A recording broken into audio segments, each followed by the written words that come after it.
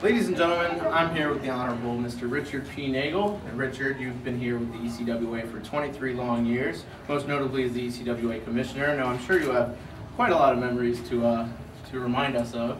Oh yeah, being involved all these years, uh, one of the big shows I always remembered was at Salesianum. We had a couple thousand there, and then the biggest show we ever did really was the Bob Carpenter Center. That's where we really outdid ourselves. Uh, that was such a great time. What was that?